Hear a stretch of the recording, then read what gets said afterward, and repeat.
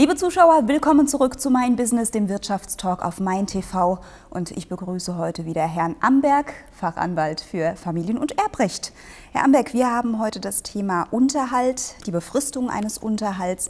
Und wir haben vor der Werbung schon über die ehebedingten Nachteile gesprochen. Welche sind es denn? Genau, also nochmal zum Mitdenken, wenn ehebedingte Nachteile bestehen, kann ein Unterhaltsanspruch nicht zeitlich befristet werden. Das heißt, er wird dann in der Tat lebenslang gezahlt. Und bei, der e, bei den ehebedingten Nachteilen muss ich mir überlegen, was wäre aus der Frau geworden, wenn sie nicht geheiratet hätte, keine Kinder bekommen hätte. Ähm, bleiben wir wieder bei dem Beispielsfall mit Chefarzt und Krankenschwester. Wenn die Frau vor der Ehe, in der Ehe, nach der Ehe Krankenschwester war, dann hat die keinen ehebedingten Nachteil, weil die wäre auch ohne Ehe Krankenschwester und würde das Einkommen erzielen, was sie aktuell verdient. Das heißt, da ist ein klassischer Fall, wo ein Unterhaltsanspruch zeitlich auslaufen kann, also irgendwann mal endet. Wenn jetzt allerdings die Krankenschwester nur deswegen Krankenschwester geworden ist, weil sie ihr Medizinstudium wegen der Ehe, wegen Kindererziehung abgebrochen hat und dann nach 15 Jahren ähm, verlassen dasteht, da muss ich mir die Frage wiederum stellen, was wäre denn aus der Mandantin in dem Fall geworden, weil das ist ein Fall aus meiner Praxis. Ja, die wäre auch Chefärztin geworden, klar. Ja, also wenn die nicht geheiratet hätte, keine Kinder betreut hätte, wäre die auch äh, Chefärztin geworden. Und da habe ich einen erheblichen ehebedingten Nachteil mit der Konsequenz, dass dann auch dieser Unterhaltsanspruch lebenslang gezahlt werden muss. Allerdings wird er dann nicht mehr so berechnet, wie ich es eingangs gesagt habe, also Einkommen Mann plus Einkommen Frau geteilt durch zwei, sondern ich muss mir überlegen, was hätte die als Chefärztin verdient und muss davon das Einkommen abziehen, was sie tatsächlich hat. Und die, die Differenz ist dann der Unterhaltsanspruch. Also man spricht da auch vom Nachteilsausgleich. Aber wie ist es denn eigentlich, wenn der Mann dann so auf die Schiene kommt, ja, Schatz, du wolltest doch aber unbedingt drei Kinder haben. Du wolltest doch gar keine Chefärztin werden. Was ist dann los? Ähm, ja, dann sind erstmal sehr viele Schriftsätze erforderlich, weil das exakt das typische Argument ist. Ähm, da hat aber der Gesetzgeber und die Rechtsprechung schon reagiert. Es kommt nicht darauf an, wer was wollte, sondern es kommt nur auf, die, auf das tatsächliche Rollenverhalten in der Ehe drauf an. Ähm, weil Sie können sich vorstellen, dieses Argument wird jeder Unterhaltsverpflichteter bringen. Der sagt, also an mir liegt es nicht, dass die Frau jetzt nicht Chefärztin geworden ist, sondern das war ihre ureigenste Idee. Ähm, das kann aber nicht als Argument zählen, sondern man schaut wirklich nur, wie war es in der Ehe, welches Rollenverständnis hat da geherrscht. Und wenn es in der Ehe so praktiziert worden ist, egal wer das wollte oder wer das nicht wollte, dann ist das für mich als Jurist das entscheidende Argument und das entscheidende Kriterium. Ich frage jetzt mal ganz vorsichtig so ähm, zum Schutz für den Mann. Ähm, wäre es dann von Vorteil, einen Ehevertrag zu machen mit einer Klausel, die das genau belegt. Ich verzichte hiermit quasi auf, meine, auf meinen Berufswunsch oder wie auch immer. Nein, es würde ja auch nichts bringen. Nee. Also ähm, es kommt ja nicht darauf an, ob die Frau gesagt hat, ich will jetzt nicht Chefärztin werden, sondern nur Mutter werden, sondern es kommt darauf an, was wäre denn aus der Frau geworden, wenn sie nicht Mutter geworden wäre. Also das heißt, das bringt nichts. Bloß Thema Ehevertrag ist ein wichtiges Thema. Ähm, früher war es so, dass wirklich immer der ja, der potenziell Unterhaltsverpflichtete, sprich der Ehemann, gesagt hat, lasst uns einen Ehevertrag machen, weil ich will da eine gewisse Regelung haben. Aufgrund dieser Frage der Befristung ist es durchaus jetzt auch für die Frau wichtig zu sagen, ähm, hallo, ich will einen Ehevertrag, weil ich will diese Frage, wie lange Unterhalt gezahlt werden muss, geklärt haben, unabhängig von der Rechtslage. Weil Sie können sich vorstellen, wenn man 20 Jahre verheiratet war, auch wenn ähm, die Frau vor 20 Jahren ähm, Verkäuferin war.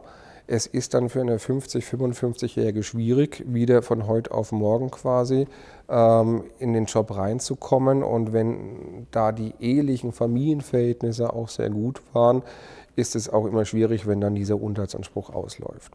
Deswegen muss man aber auch wissen, dass selbst wenn keine ehebedingten Nachteile bestehen, der Unterhaltsanspruch nicht sofort aufhört sondern ich habe immer eine Übergangsphase. Diese Übergangsphase soll wie immer im Familienrecht individuell festgestellt werden. Ähm, es hat sich aber so eine gewisse Tendenz herausgestellt, bei den Oberlandesgerichten zumindest, dass man als Übergangsphase ein Drittel bis ein Viertel der Ehedauer nimmt. Also wenn die Eheleute 20 Jahre verheiratet waren, circa fünf Jahre muss noch nach Restkraft der Ehescheidung der rechnerische Unterhaltsanspruch grundsätzlich gezahlt werden. Ehebedingte Nachteile, wer muss die denn beweisen? Also im Unterhaltsrecht ist es so, habe ich vorhin schon gesagt, dass grundsätzlich eigentlich der Unterhalt unbefristet gezahlt werden muss. Das heißt, der Mann muss entsprechend das auch beantragen, dass dieser Unterhaltsanspruch zeitlich befristet wird. Ich habe da so ein Regelausnahmeverhältnis praktisch. Bloß wenn der Mann sagt, ähm, es sind hier keine ehebedingten Nachteile vorhanden und es wäre unbillig, wenn ich Rest meines Lebensunterhalts zahlen muss, dann muss wiederum die Ehefrau sagen, nee, das ist überhaupt nicht unbillig, weil ich habe erhebliche ehebedingte Nachteile und muss substantiiert vortragen, worin die bestehen. Und äh, da muss ich als Anwalt natürlich, egal ob ich den Mann oder die Frau vertrete, ähm, ja, mich wirklich sehr, sehr intensiv muss ich da vortragen. Ähm, wenn ich die Frau vertrete, muss ich zum Beispiel die ja, Erwerbsbiografie darstellen. Beginnt teilweise schon bei der Schulbildung. Ja, also ich kann nicht sagen, meine Mandantin wäre Chefärztin geworden, wenn sie einen Hauptschulabschluss hat. Es wäre nicht substantiiert. Also muss ich vortragen, welche Schulausbildung sie hat, welche Berufsausbildung sie hat und muss dann auch entsprechend vortragen, worin denn dieser ehebedingte Nachteil besteht. Ich habe mal einen Fall in meiner Kanzlei gehabt, der war ziemlich interessant, weil ähm, die Frau hat sich vom Mann getrennt, hat dann auch gesundheitliche Probleme gehabt. Es waren zwei Kinder vorhanden. Das heißt, nach der Trennung hat der Mann diese beiden Kinder betreut, hat aber trotzdem noch ein höheres Einkommen gehabt als die Frau. Ähm, dann hat der Mann gesagt, es kann ja nicht sein. Ähm, wir waren jetzt zwar 15 Jahre verheiratet, aber ich will keinen Unterhalt mehr an dich zahlen, weil du hast keinen ehebedingten Nachteil. Wir konnten aber nachweisen, dass die Frau bei einer gewissen Firma hier in Aschaffenburg gearbeitet hat und konnten nachweisen, wenn sie bei dieser Firma geblieben wäre, weil den Job hat sie nämlich wegen der Kinderbetreuung aufgegeben im Rahmen der Ehe, dass sie jetzt exakt 500 Euro mehr verdienen würde, als sie derzeit tatsächlich verdient. Das heißt, die Frau hat dann wirklich, nachdem sie wieder gesund geworden ist, angefangen zu arbeiten, hat als Sekretärin gearbeitet, hat aber ähm, auch mit Weihnachtsvergütung und Urlaubsvergütung und so weiter exakt 500 Euro weniger gehabt, als sie bei dieser Firma gehabt hätte. Und damit konnte ich den wirtschaftlichen Nachteil nachweisen. Ähm, es ging, ging, mir allerdings auch nur deswegen, weil ihre beste Freundin nach wie vor bei dieser Firma gearbeitet hat. Die hatten also beide da angefangen. So konnte ich relativ einfach sagen, die Freundin verdient das und wenn meine Mandantin auch da geblieben wäre, hätte sie auch das verdient. Ähm, dann hat entsprechend der Mann gesagt, na ja, aber die Frau, die hätte das ja überhaupt nicht mehr geschafft. Die hatte vielleicht keine Lust mehr da zu arbeiten oder sonst irgendwas. Und da hilft mir die Rechtsprechung vom Bundesgerichtshof, weil der Bundesgerichtshof hat mal gesagt, bei diesen ganzen Spekulationen, die ich hier anstelle, dann wird es immer Unwägbarkeiten geben. Bloß diese Unwägbarkeiten gehen zum Lasten des Unterhaltsverpflichteten. Und da konnte ich relativ locker sagen, kann sein, muss aber nicht sein. Und Unwägbarkeiten gehen zu deinem Nachteil, lieber Ex-Ehemann. Deswegen musst du Rest deines Lebens, also bis zum Renteneintritt meistens zahlen. Und dieser Fall wurde vor vier Jahren entschieden und der muss immer noch zahlen.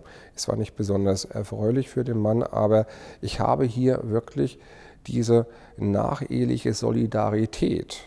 Die endet ja nicht damit, dass ich mich trenne oder mich scheiden lasse. Ich habe da so, so zwei ähm, Seiten von der Medaille. Einerseits natürlich die Verpflichtung des Unterhaltsbedürftigen, sein Bedarf, seine Bedürftigkeit so gering wie möglich zu halten. Deswegen auch die Verpflichtung, arbeiten zu gehen und diese ganzen Geschichten. Auf der anderen Seite habe ich die nacheheliche Solidarität.